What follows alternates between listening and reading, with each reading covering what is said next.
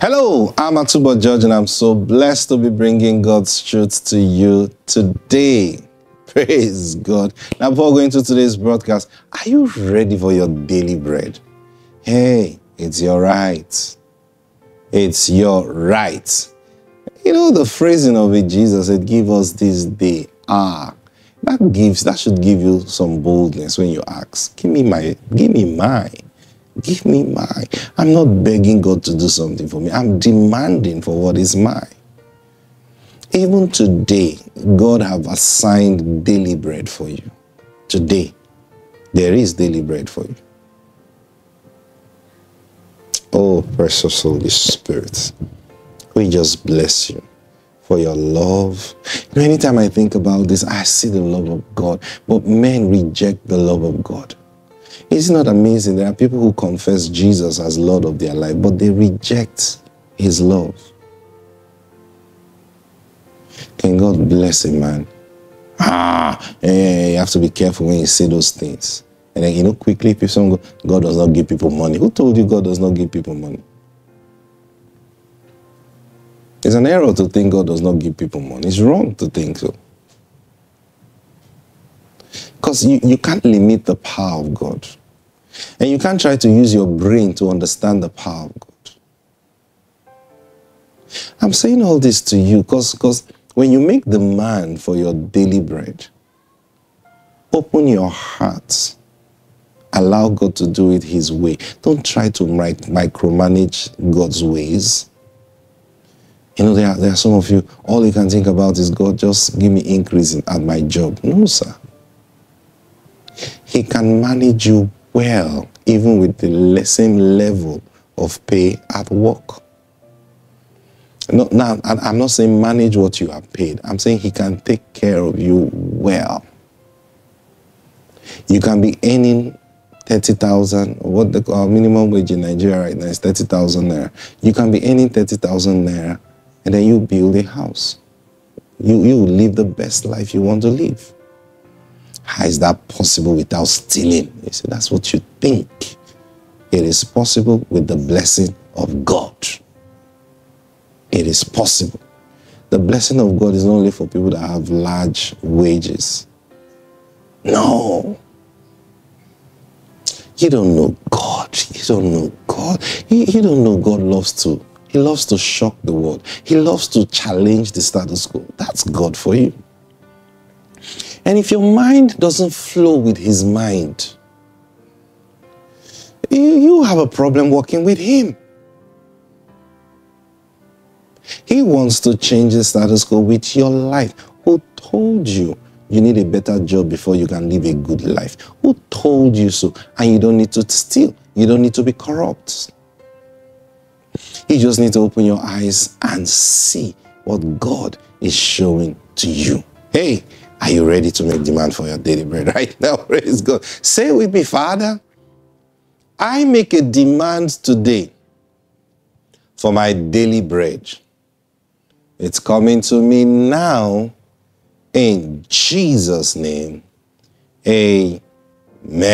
Praise God. Thank you, Lord Jesus. You know, sometimes um, when we teach some practical things, the, the whole essence is to expand your mind.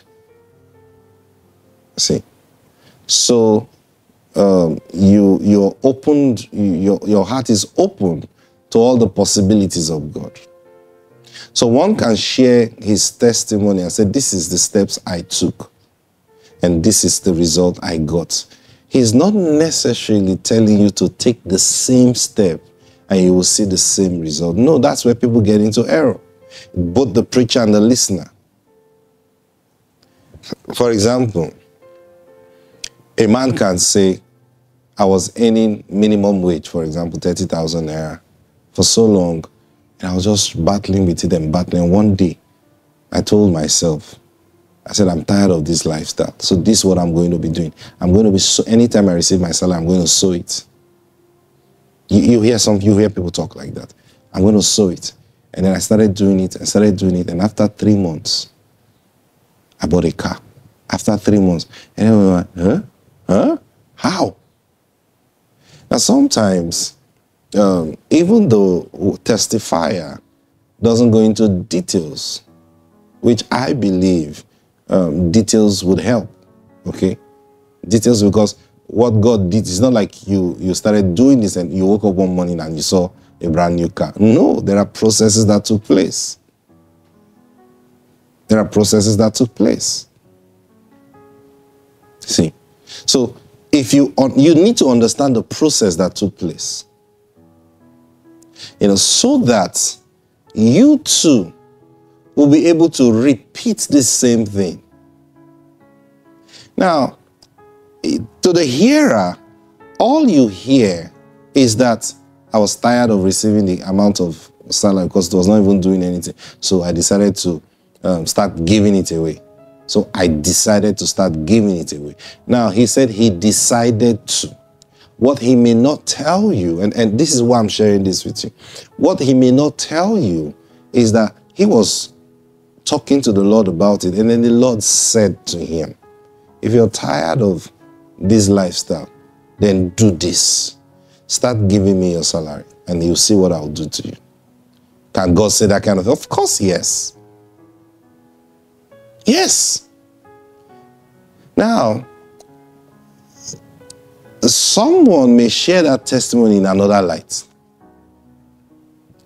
In other words, with the intention to deceive people. How do I mean? So, this brother shares how he made up his mind and then he started giving his salary to God. However, he gives it, maybe to church, to his pastor, to whatever, wherever he gives it to. And so maybe he says, I started giving it to the church or to my pastor, okay? And in three months' time, I got a car. Everyone said, whoa, whoa, whoa. Now, what he may not say is it took him five months, four months to get to that point. And, and how did it begin? How did he get to that point? The word of the Lord came to him and said, if you want to trust me for bigger things, then start putting your mind off that pay that they are paying you. And he said, How? Okay, I'll try. Don't put my mind there again. But after one month, his mind is still there. And he said, Ah, God, you know. And then the Lord now let him, Hey, if you don't want to put your mind there, then give it away. So you know it doesn't exist. Ah! He'll take another two months to process that. And uh, then he'll build up his faith to that point. You're like, hmm, okay, let me try it. Lord, I'm doing this, so this is my act of faith. Oh, I'm doing. He he even he may not understand that God has been dealing with him. See, so he doesn't tell you all this process. He just goes straight to the point that I just made up my mind and I'm going to be doing this. And then I started, and then three months down the line, I got a new car. Okay. So now that's by the way. So he got a new car. He doesn't share with you how he got the new car. He said God just opened the door and I got a new car. What door did God open? How did that come about? He doesn't share. Now, not because he got a new car in a wrong way. No. Well, sometimes we don't understand why the details are important. So that's him, okay. Now, the other person listening to the testimony say, ah, Lord, me too. I'm going to start giving out uh, my salary.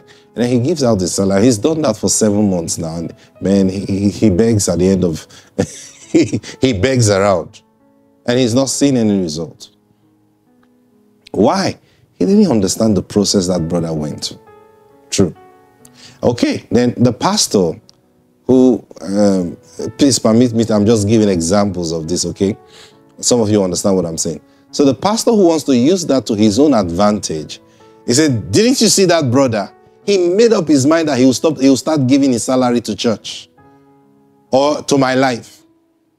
And three months after he started doing that, God blessed him with a brand new car. I, I tell you today, if you will only make up your mind to start giving your salary. See, the thing was not giving his salary. See, see how we turn the whole thing and mix it up. Now, the pastor may be amazed also, say, wow, eh, so I'm this anointed, you know, or our church is this anointed. I get so that he wants to use that to his own advantage to say there's an anointing on my life. In the other way, also in behind his mind, now not every pastor, now some pastor, behind his mind say, ah, if 20 people are doing this, church will explode financially now. And then and they'll be blessed just like brother A was blessed. So, hey, try God. Start giving your salary. But the thing they miss out is the journey that brother took. Growing up to the point where he had to obey and understand what God is saying. We hardly teach that part. You know what I'm talking about? So you want to find out how did God tell you to start giving your, your salary?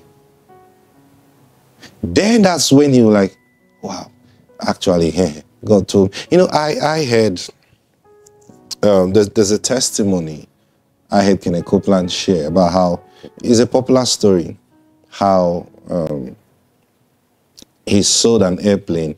And I think 11 days later or so, I think say 11 days later, he received a new airplane. Now, I first um, read this story in Jerry Savelle's book, The Footsteps of a Prophet. So Jerry Savelle told the story of how he, he had gone to pray with Kenneth Copeland. And because Kenneth Copeland had invited us when he started working with Kenneth Copeland. And then they were praying together. Copeland told every morning, there's, there's something I'm trying to get the mind of God about. So every morning, come to my room and we'll pray for, is it 30 minutes to one hour? And then you go back and I will repeat this for several days. So Jerry Savelle and said, I'm, I'm praying to God concerning the expansion of the ministry and, and, and we need a better airplane and, and stuff like that. Okay, so Jerry Savelle will go. And according to Jerry Savelle, he wasn't praying, he was just watching what Miracle Plan was doing. Okay, Koba will pray and pray in the spirit, pray in the spirit. Then he'll open the scripture and then he'll read the scripture out loud. And then he'll, he'll pray in the spirit and pray in the spirit and pray in the spirit. And I think by the third day or the second day, they finished praying and he left. Then Kenneth called him back, says, I've gotten it. I've gotten it. So Jesus said, What did you get? He said, The wisdom of God concerning what to do. I said, Okay, so what is that? I said, God have instructed me to give the our airplane to so and so preacher. And Jesus looked at him like, Are you okay, sir? He said, I'm going to, and I'm going to do it right away. He picked up the phone and called this preacher and said, God have instructed me to sow our so so and so jet to you. Jerry Savelle was looking at Kenneth like, how are we going to go back? yeah. we, we, we flew that airplane to this meeting. How are we going to go back? And then, as though that was not bad enough, he had uh, Kenneth Copeland say, but you know what's going to happen? You will please give me a few weeks because I want to send that airplane for, to, for, for it to be um, revamped make it neat, then I'll say, hey, Jerry Savelle, now I know something is wrong with you. You are God told you to give your airplane to somebody. That's not good enough. You want to now spend your own money to refurbish the whole thing and, and send it to the person. You know how you are what kind of human being is this? See. Now, so you heard Kenneth Copeland give the airplane over the phone. And then he took the airplane to, they refurbished it and did everything they are doing. And then he actually sent the airplane to the owner, flew it to him, and gave it over to him. Now, Jerry Savelle knew all that that happened. Exactly 11 days after Copeland handed the airplane over to the person. Now, remember, not the day he called the person to sow the airplane the 11 days after he handed over the airplane to this person, Kenneth Copeland calls and says, Jerry, do you want to see a miracle? He said, come with your wife and your children to so and so airport. He said, he told his wife, hey, um, get ready. We're going to so and so airport. Say, what's happening? He said, Kenneth Copeland said, if I want to see a miracle, and I think I want to see a miracle. And then they drove down to that airport and they saw Kenneth Copeland standing at the tarmac. He said, wait, just wait here and watch. Look at the sky. And then they saw the lights and the airplane landed. And someone walked up and said, This is for you. And handed him the keys, the documents, and everything. And Jerry Savelle went, Whoa. This man gave an airplane 11 days ago. And 11 days after, he's receiving a bigger, better airplane. He went back home that day and said, Lord, I've seen a principle. I'm going to give everything in this house, my TV, the chairs. I need anything, I need a better one. I'm going to give. So while he was processing all that, the word of the Lord came to him. He said, You don't do it. So why, God? Why would you bless Kenego? You don't want to bless me. I saw him do this. I saw God said, You don't do it. Said, Lord, what? And then the Lord said to him, Say, You continue walking with me and I'll build you up to the place where you can start doing that by my instructions and you will see the result. But Lord, I need result now. I need result. See, eh, Lord, if there's any building you want to build, just give me one day, one day course. I'm ready. Just build me up. Said, God said, no. And so God slowed him down. And Jerry Savelle, who's going to be with the Lord now, became one of the men I know enjoy the favor of God like now here's the point. I, heard, I first heard that testimony from Jerry Savelle, right, in his book. And so what, what you know about is Kenneth Copeland and Jerry Savelle were praying for the mind of God concerning the airplane, concerning their ministry and what to do. And God spoke to J- Kenneth Copeland, right, that morning. And Jerry Savelle heard what God said to him. Jerry Savelle saw him when he made that call, and then he refurbished the plane. 11 days later, after he gave the plane, a new airplane came. Now, years after I read that testimony in his book, I heard Kenneth Copeland teaching, and then he spoke about this testimony. And Kenneth Copeland spoke about how God had spoken to him about giving that airplane for several months. And he was like, Lord, if I give this airplane, how am I going to survive in ministry? See? And, and he, he battled with that and battled with that until finally he came to that point where he like, okay, Lord, if, if this is what you want me to do, I'll do it. Just show me how I'll do it. So when Jerry Savelle met him in that prayer, he wasn't contemplating whether to give or not to give the airplane. That was when he had made up his mind to give the airplane. Now he was trusting God for exactly who and when God wants him to give the airplane. Now this was several months coming. Are you following what I'm saying? Now, what I'm teaching is very important. In faith, because you want to walk by faith. So this was several months coming. God have instructed. He had battled with it. He has struggled with it. He has fought with God. And then he, because when God tells you something, it's the truth. So no matter how long you keep it, you'll get to that point where you have to accept. Okay. okay? So Jerry Savelle met him at the point where he accepted. Now, I don't know if Savelle knows this back end. I'm sure he must have heard. But from the, the point he wrote that book, okay, he just shared this part. And these are the things that followed. So now the original truth is this. For many months, there was this battle until he got to that place where he accepted the mind of God. And then he asked God, okay, Lord, I'm ready to give it. So give me direction on who to give it to. And God gave him direction and he accepted, and then the miracle happened. So you see, the main thing there is the word of God coming to your hearts. That's the main thing. The word of God coming to your heart. It's not to see what somebody else have done.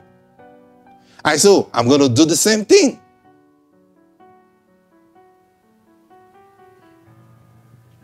And so people try it and they don't get the same result. And then they come back and say, hmm, are you sure that brother or that sister was telling the truth? Because me, I don't understand again. No? As though some people eh, eh, is only they are too special to God. Only them every time. You don't know their dealings with God. Begin your own dealing with God. Now, you see, now you cannot be reading the Bible. See, guess what I'm saying? I'm, I'm, this is from what I was sharing with you yesterday. You cannot be reading the Bible, and in the Bible, you now read where God say, "Go and sew your car." You won't see that.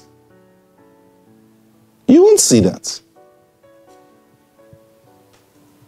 I get what I'm saying. Rather, you'll be reading your Bible and then ideas will coming to your mind. Say, "Hmm, where did they where did they pay tithe in the New Testament? I cannot see any place where they pay tithe in the New Testament. Too. So this tithe thing that they are making us to pay, say, me, I don't understand. though. Hmm? After all, eh, in the Acts of the Apostles, never say they paid tithes. Paul didn't instruct Timothy that he should collect tithes. At least we should have seen one place that uh, they, they were receiving tithes and offering. You understand what I'm saying? You're trying to find it in the Bible.